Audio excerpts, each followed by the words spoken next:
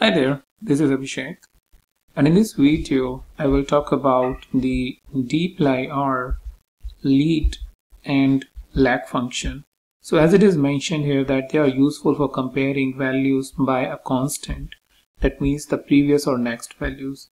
So basically the idea is that uh, you are at a current row within your data set. So maybe if I can take an example of uh, let's say head of iris so what we are basically saying that this is a particular row, row number one, where you have this data, row number two, and three, four, five, and six. And the idea is that uh, when I am at row number one, I have a requirement that I should compare the row number one with row number two, and the result should be on the row number one. Or if I am at row number two, I should compare the outcome of row number two with row number one and then show the result in the row number 2 as an outcome. So this is sometimes very helpful in those kind of business complex scenarios where you need to really show the difference between let's say daily sales, monthly sales or budget that you are spending on a monthly basis. So that helps identifying how much we are really exceeding or how much uh, fast or slow we are going based on the targets that we have. So this with this kind of requirement, you can use the lead and lag function that is present in the dplyr. So let's first import the library, which is dply. Let me correct it. dplyr.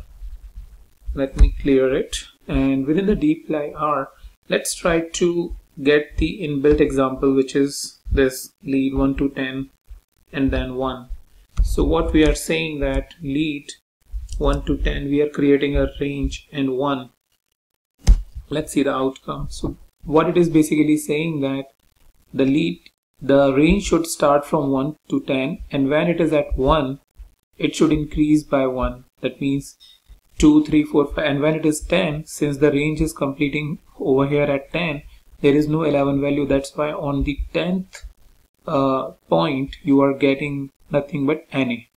Similarly, if you say lead 1 to 2 comma 2, so the outcome will be as you would guess that it will start from 3 because what it is saying that in the list or in the range of 1 to 10 start from the second position and then go up till the last which is 10th position and show the values since the range is up till 10 you will get two NA values for this particular function. So if I hit enter, as it is, as you can see, it is starting from 3 as we pre-assumed or suggested or guessed and then at the end two NA values. So so on and so forth if I am saying lead 1 to 10 comma 3 then it will start from the fourth position. So that's how you can basically say that uh, which value you want to really go to to identify or to basically start looking at within the column of data set. So similar way you have lag in the lag let's say we starting from 1 to 10 and comma 1 so if you would guess it lag is basically looking at the last value and since the value range is starting from 1 and there is nothing which is before than 1 or prior to 1 then it will result first as NA and then it will show us the entire list. So NA and at the 10th position it is showing us 9 because it is looking at one value back. Similarly if I'm showing you 2 then also it will show 8 and 2 NA values at the start. So that's the basic idea about uh, the lead and lag function. Now let's see quickly in the action let's say we have uh, two data set. I want to create a maybe sales quarter. And I would say Q1 Q2 Q3 Q4 and sales value SV which is 2001 oh, I'm sorry let's say 10,000 15,000 17,000 and again 15,000 maybe. Alright so now let's go ahead and create a data frame which is nothing but sales. And then we are saying data dot frame and we are passing these two vectors sq sv alright now let's see the sales. Well this is what the sales is based on the vector that we created in q1 we have 10,000 in q2 we have 15,000 in q3 we have 17,000 and in q4 we have 15,000 so idea is now we need to create one column beside to this and see with the help of lead how much uh, less or more we have uh, the sales value in each of the quarter as compared to the next quarter.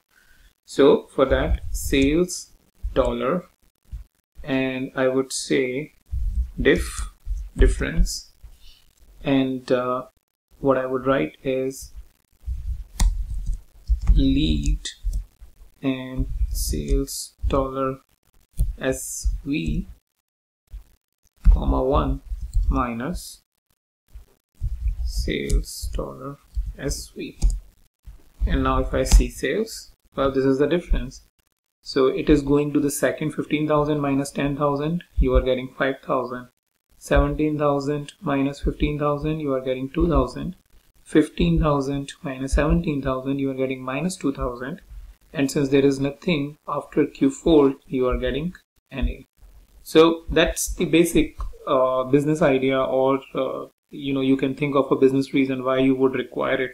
Similar way you can use the sales dollar diff underscore lag just to create an example of lag and what we will say is sales dollar SV minus lag. So basically what we are saying is from current to previous, just subtract it.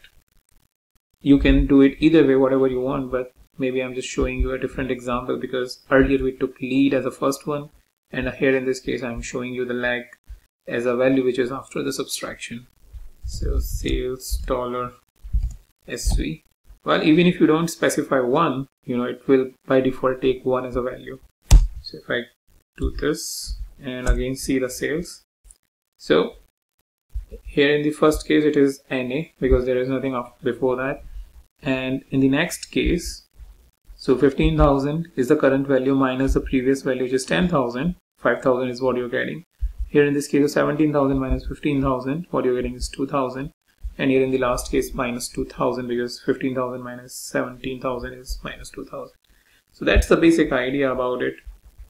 Here in this case I have used the sales dollar diff uh, function uh, I'm sorry to create a new column I have used the sales dollar diff. But in the previous videos I have shown you how you can use the mutate dplyr function. So if you have if you're not sure about that you can actually go to this mutate and or my previous video where I have shown you how you can define the mutate function. So to add a new variable so what we have done is just adding a new variable but with the help of the basic method. But I would like you to practice with the mutate function also because that will going to increase your skill set into the uh, R and specifically into the dplyr mutate function. And just to show you where the video is that within the R video tutorial you can look for the how to create a new value with mutate function that I uploaded a week ago. So that will help you understand how you can create a new variable. So that's the main thing I wanted to show you about uh, the lead and lag variable and I would just encourage you to, to practice it that will help you really understand in, in depth. Also if you want to go deep down you can uh, you can basically uh, see its description and figure out what else it's been given over here. So that's pretty much all in this video and I will meet you in the new video with a new topic